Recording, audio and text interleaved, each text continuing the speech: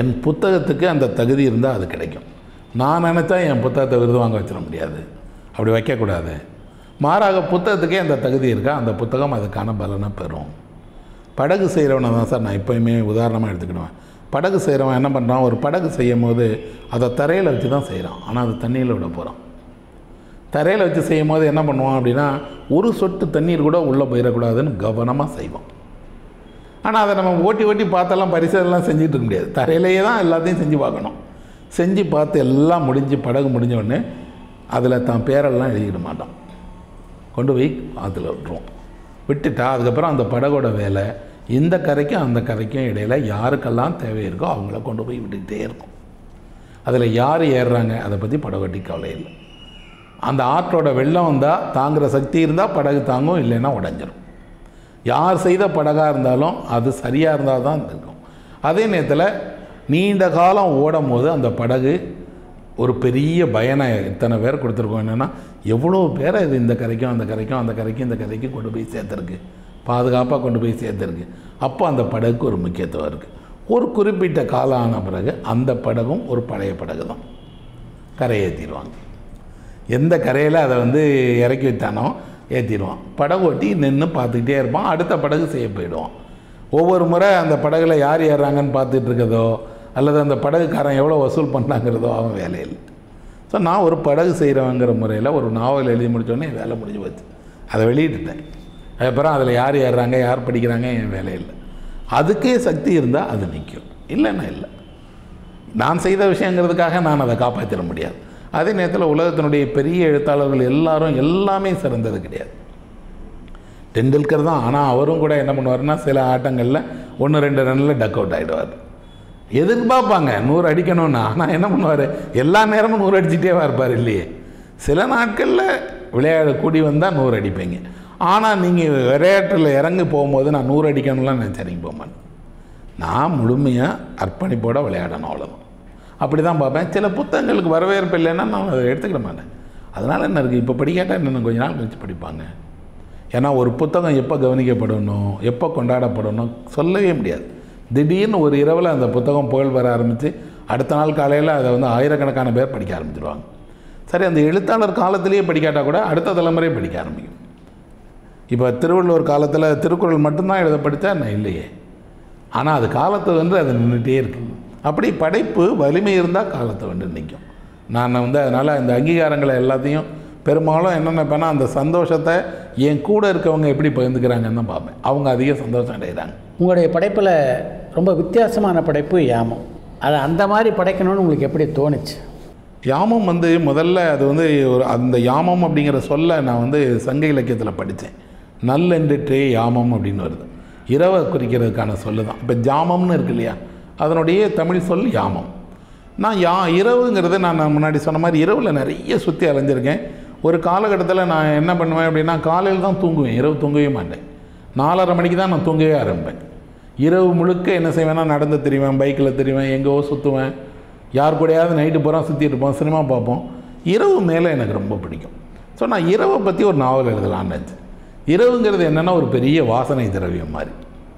இது உள்ள ஒரு ரகசியமே இருக்குது இரவு வந்த உடனே எல்லா பகலோட வேடிக்கைகளும் முடிஞ்சு போயிடுது மனுஷன் தூங்கும் போது அவனை விட்டு நிறைய விஷயம் போயிடுது சார். தூங்குறவனுக்கு பயம் கிடையாது.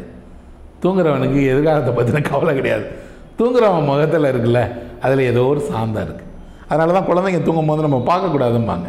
பார்த்தா குழந்தைங்கள் தூங்கும் போது கடவுளில் வந்து அது பேசிகிட்டு இருக்கான். அதனால் பார்க்காதேன்னு சொல்லுவாங்க. அப்படி இந்த தூக்கம் மனிதனுக்கு ஒரு பெரிய விடுதலையை கொடுக்குது. ஆனால் விழித்து இருக்கக்கூடிய இரவில் விழித்து இருக்கிறவனுக்கு வேறு வேறு காட்சிகளை பார்க்குறோம். கிராமத்தில் நீங்கள் இரவு பார்த்தீங்கன்னா இரவு அடங்கிடும் முழு ஊரும் அடங்கிடும் காலையில் தான் விடியும். நகரம் அடங்கவே அடங்காது. இரவுலேயும் ஆட்கள் வேலை செஞ்சிட்ருக்காங்க. பணி நடக்கு கட்டிட வேலை செய்கிறாங்க ஹோட்டல் வேலை நடக்குது. அப்போ நான் இந்த இரவை எழுதலாமேன்னு ஆச்சேன் இதை தான் எழுதலான்னு போது சென்னைக்கு வந்தேன் இல்லையா? சென்னையை பற்றியும் எழுதணும்னு ஆச்சேன் அப்போ சென்னை இரவு ரெண்டையும் எடுத்துகிட்டு தான் இந்த நாவலை எழுதினேன். இந்த நாவல் சென்னையினுடைய ஒரு முந்நூறு ஆண்டு கால வரலாறாக எழுது சொல்லுது. அதே நேரத்தில் இரவினுடைய தனித்துவத்தை சொல்லுது. இந்த முந்நூறு ஆண்டு கால வரலாறை மூணாக எடுத்துக்கிட்டேன். வெறும் வரலாறை சொல்லாமல் என்ன பண்ணியிருக்கேன்னா ஒரு பக்கம் திருவள்ளிக்கணியில் வாழ்ந்த குடும்பங்கள் அவங்களோட வாழ்க்கை. இன்னொரு பக்கம் மீர்சாப்பேட்டில் வாழ்ந்த அத்தர் தயாரிக்கிற குடும்பங்கள் அவங்களோட வாழ்க்கை. இன்னொரு பக்கம் சென்னையில் ஒரு முக்கியமான விஷயம் நடந்துச்சு. என்ன அப்படின்னா சென்னையிலேருந்து தான் இந்தியாவை அளக்கக்கூடிய அந்த நில அளவை பணி தொடங்கியது. லேண்ட் சர்வேன்னு சொல்லக்கூடிய சர்வே இங்கே தான் ஆரம்பிச்சு. இப்போ நம்ம சொல்கிறோம்ல டெல்லி இவ்வளோ தூரத்தில் இருக்குது மும்பை இவ்வளோ தூரத்தில் இருக்குன்னு இந்த தூர அளவையை கணக்கிறது அப்போ தான் ஆரம்பித்தாங்க இது ஏன் ஆரம்பித்தாங்கன்னா திப்பு சுல்தானோட சண்டை போட போகும்போது வெள்ளைக்காரங்களுக்கு இங்கேருந்து மைசூருக்கு போகிறதுக்கான தூரம் எவ்வளவுன்னு துல்லியமாக தெரியல. அதனால் அவங்க என்ன பண்ணாங்கன்னா போர் படையை அனுப்புறதில் அவங்களுக்கு காலதாமதம் ஏற்பட்டது. அப்போ அவங்க முடிவு பண்ணாங்க இந்த திப்புவுக்கு அப்புறம் நாம் உடனடியாக இந்தியா முழுவதும் அளந்து எந்தெந்த ஊர் கடல் மட்டத்திலேருந்து எவ்வளோ உயரத்தில் இருக்குது எவ்வளோ இடைவெளியில் இருக்குங்கிறத துல்லியமாக வரைபடம் போடணும்னு. இந்த பணியை லாம்டன் அப்படின்னு ஒருத்தர் ஆரம்பித்தார் அந்த லாம்டன் சர்வேன்னு சொல்லுவாங்க. அந்த சர்வே தொடங்கின இடம் சென்னை தன் தாமஸ் மவுண்ட்.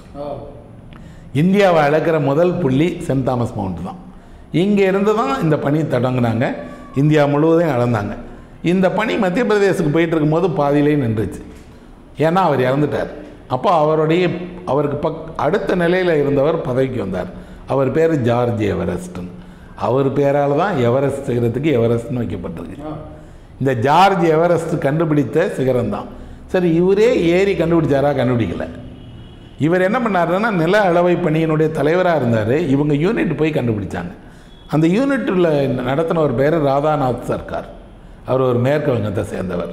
அவரும் அவரோட குழுவினர்களும் தான் ஏறி போய் எம எமயம எவரெஸ்டினுடைய உச்சி எவ்வளவுங்கிறத கணக்கிட்டு அந்த குறிப்புகளை கொடுத்தாங்க பரிசோதனை பண்ணி இவங்க முடிவு அறிவித்த பின்னாடி எவரெஸ்ட் சிகரத்துக்கு வந்தாங்க.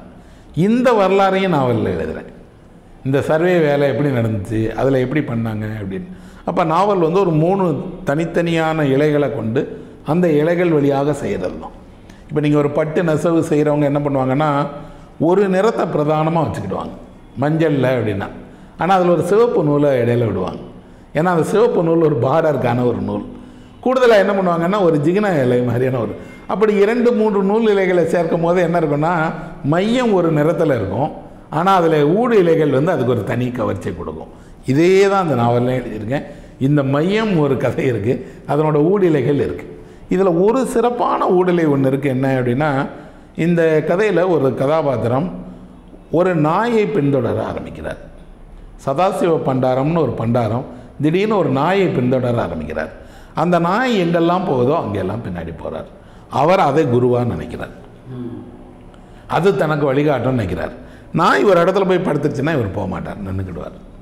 எந்தெந்த இடங்களுக்கு நாய் எப்படி போகுதோ அதுதான் தான் குரு அப்படின்னு போகிறார் ஒரு இடத்துல போய் நாய் நின்ன உடனே இவர் என்ன பண்ணிடுறாரு இனி இந்த நாய் எங்கேயும் நகரலைன்னொடனே அங்கே இருக்கிற ஒரு பொண்ணோட பழகி அவள் குடும்பத்தை நடத்த ஆரம்பித்து குழந்தை பெறுகிற வரைக்கும் போய் குழந்தை பெறுகிற அன்னைக்கு அந்த நாளைக்கு காலையில் குழந்தை பெறப்போகுதுன்னா முதல் நாள் இரவு அந்த நாய் கிளம்பியது இப்போ இவர் வந்து அந்த சம்சார பந்தத்தை உதறி அந்த இரவோடு அந்த நாய் பின்னாடி போகிறார் இப்படி நாயை பின்தொடர்ந்தே போய் ஒரு குறிப்பிட்ட இடத்துல போய் அவர் என்ன செய்கிறாருன்னா மறைஞ்சிட்டாருன்னு ஒரு ஆன்மீக அனுபவத்தை எழுதுகிறேன் ஒரு பத்ரகிரியார் மாதிரி ஒரு அந்த ஒரு பட்டினத்தார் மாதிரி இந்த நினைவினுடைய ஒரு சாயல் வரட்டும் அப்படின்னு. அப்போ இதுவும் சென்னை வரலாறு அத்தர் தயாரிக்கக்கூடிய ஒரு குடும்பம் திருவள்ளிக்கேணி குடும்பம் எல்லாம் சேர்ந்ததுனால என்ன இருக்கும் அப்படின்னா இது ஒரு வாசனை திரவியம் ஒரு பர்ஃப்யூம் மாதிரி. ஏன்னா ஒரு பர்ஃப்யூமுக்குள்ளே நிறைய இருக்குது அது எல்லாம் சேர்ந்து ஒரு குறிப்பிட்ட வாசனையை கொடுக்குது. இந்த நாவல் நல்ல வரவேற்பு பெற்றது இப்போ ஆங்கிலத்தில் வரப்போகுது மலையாளத்தில் வந்திருக்குது தெலுங்கில் வந்திருக்குது ஹிந்தியில் வருது. ஒரு வகையில் பார்த்தா இந்த மாதிரியான ஒரு நான்கைந்து இலைகளை எடுத்துட்டு ஒரு மைய கருவை வச்சுட்டு எழுதின நாவல் இல்லை. அதனாலேயே இது நல்லா வாசிக்கப்பட்டது. உங்களுடைய விழாவிலேயே வைரமுத்து உங்களை கேட்ட அந்த கேள்வி தான் நான் கேட்க விரும்புகிறேன் நீங்கள் எவ்வளோ நேரம் படிக்கிறதுக்கு எடுத்துக்கிறீங்க? எவ்வளோ நேரம் எழுதுறதுக்கு எடுத்துக்கிறீங்க ஒரு நாளில்? இல்லை அது தனித்தனியாக நான் நேரம் ஒதுக்கி படிக்கிறது எழுதுறதுன்னு இல்லை. கிடைக்கிற நேரத்தில் எல்லாம் படிப்பேன்.